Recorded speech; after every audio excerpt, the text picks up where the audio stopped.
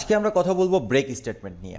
Already আমরা break statement দেখেছি switch স্টেটমেন্টের ক্ষেত্রে। তখন আমরা ব্রেক নিয়ে ডিটেলস আলোচনা করিনি, শুধু এতটুকু বলেছিলাম যে ব্রেক স্টেটমেন্ট ব্যবহার করতে হয়, তা যেন নিচের স্টেটমেন্টগুলোতে বা নিচের কেসগুলোতে যেন না যায়। ওকে এই জন্য।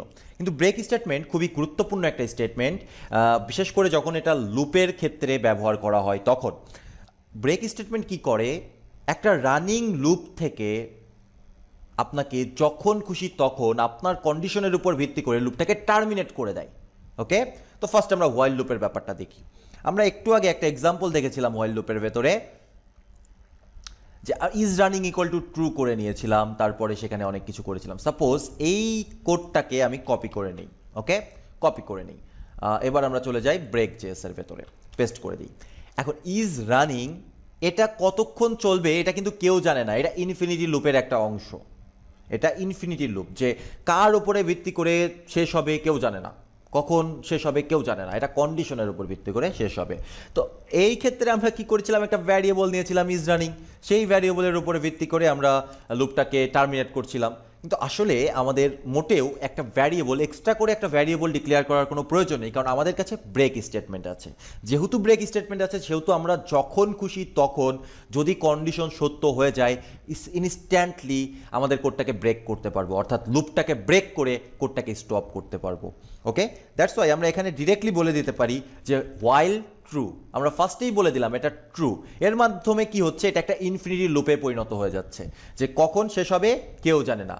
বিলিভ মি এটা একটা ইনফিনিটি লুপ যদি আমি ভেতরে কোনো কন্ডিশন না দেই টার্মিনেট করার, আর কন্ডিশন যদি কখনো সত্য না হয়, তাহলে সব সময়ের জন্য এই লুপটা চলতেই থাকবে। আচ্ছা এখানে আমরা ট্রু ব্যবহার করলাম। এরপরে দেখেন যে ইজ রানিংটাকে তো আমরা রিমুভ করে দিয়েছি। তাহলে আমাদের আর এই লাইনটারও দরকার নেই।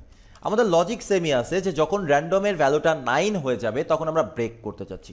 টার্মিনেট করতে চাচ্ছি আমাদের লুপটা তখন আমরা কি করব? জাস্ট এখানে ব্রেক স্টেটমেন্টটা দিয়ে দিব। এটা কি করবে? যখন আমাদের র্যান্ডম ভ্যালুটা নাইন হবে ইনস্ট্যান্টলি লুপটাকে ব্রেক করে দিবে। তো আমরা সেভ করে চেক করি। ক্লিয়ার এটা হচ্ছে ব্রেক তাহলে সরি সরি কোডটা পাচ্ছে না। নোট চ্যাপ্টার ফোর আর এটা হচ্ছে ব্রেক চেস এন্টার করি। দেখেন, আগের মতোই এটা কাজ করছে। যখনই নাইন পেজ আছে তখনই ব্রেক হয়ে যাচ্ছে। কোনো ডিফারেন্স নেই আমার কোডের ভেতরে।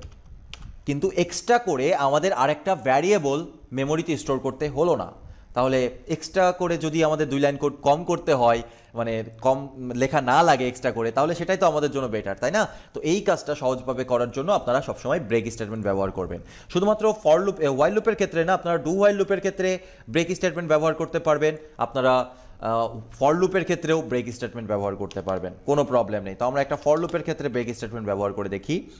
var i is equal to 0 i smaller than 10 i plus plus okay so আমরা এইভাবে একটা লুপ চালাচ্ছি এবং আমরা কন্ডিশন দিয়ে দিচ্ছি যে i percent five is equal to যদি জিরো হয় সরি যদি জিরো হয়, তখন আমরা কি করতে যাচ্ছি? ব্রেক করতে চাচ্ছি। জাস্ট ব্রেক আচ্ছা আর otherwise else console dot log just আয়ের ভ্যালুটা প্রিন্ট আউট করুক ওকে তাহলে এই কোডটা কতক্ষণ চলবে? ফোর পর্যন্ত চলবে জিরো থেকে ফোর পর্যন্ত। আচ্ছা আমরা আবার রান করি উইনার উইনার চিকেন ডিনার আচ্ছা ফার্স্টের থেকেই চলিনি, কেন চলিনি I don't know i percent five ও আচ্ছা আচ্ছা আচ্ছা জিরো থেকে যেহেতু শুরু হয়েছে জিরো থেকে শুরু হওয়ার কারণে জিরোর সাথে ফাইভের পার্সেন্টেন্স করছে দ্যাটস ওয়াই জিরো থেকে কাজটা হবে না, এটা ওয়ান থেকে নিতে হবে। এইবার দেখেন one two three four four পর্যন্ত চলার পরে আমরা ব্রেক করে দিয়েছি, তাই না? এটাই হচ্ছে মূলত ব্রেক স্টেটমেন্ট যে একটা রানিং লুপ আছে, সেই রানিং লুপের ভেতর থেকে ইনস্ট্যান্টলি টার্মিনেট করতে চাইলে আপনি ব্রেক স্টেটমেন্ট ব্যবহার করবেন, এটা আপনাকে লুপ থেকে বের করে দিবে।